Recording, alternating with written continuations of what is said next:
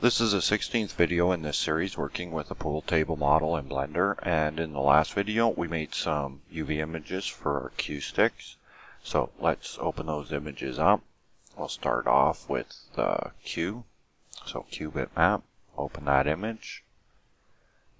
That looks good. We'll add a new material. I'll just leave the name material and tell it to set the TexFace option and tab into object mode, select the tips, edit mode, select all, open the image. So open tip.bitmap, open that image up. And let's have a look at the way this tip worked out. And that worked out a little bit so-so.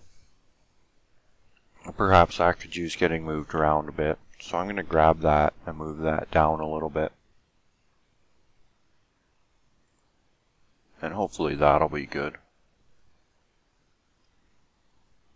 And again, I'll give it a material. I'll just link it to the material for the entire cue. So set that up. Now we're going to do a little bit of editing on the tips, particularly on the.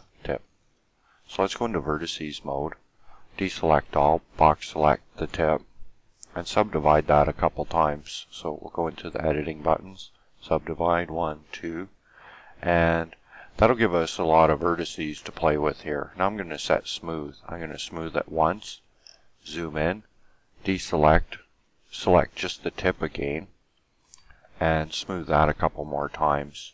Maybe three or four times, five. Five looks pretty good. And that's going to give us a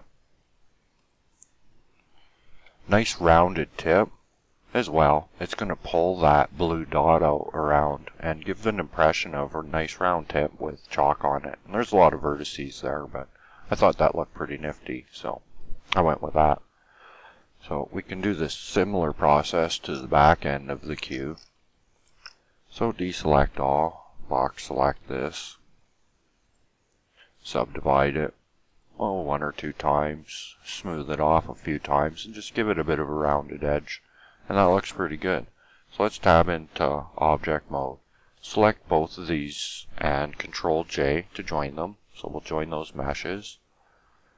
Come into the editing buttons, set it to smooth. Let's get our pool table back here. And well, having two cues seems like a good idea, so let's shift duplicate that, rotate it by 90 degrees. That looks, or 180 degrees I should say, and pull it to the other end of the table. And about the only thing left to do with this now is to set up a still scene and see what we can do with it. So that's what I would do is set up a still scene for a render. You know, rotate things around, move the balls around. They could use being rotated too. They'd look a little more convincing if they weren't all sitting number side up. But I'll leave that to, to you guys to do. And let's see, I believe that I've got a blend file with a scene set up already here and let's just do a quick render and have a look see at what we got. So I'll render that up. So that's it, my finished project. Um, from here, people can do with this what they will. Um, there's the option to join the parts in the pool table.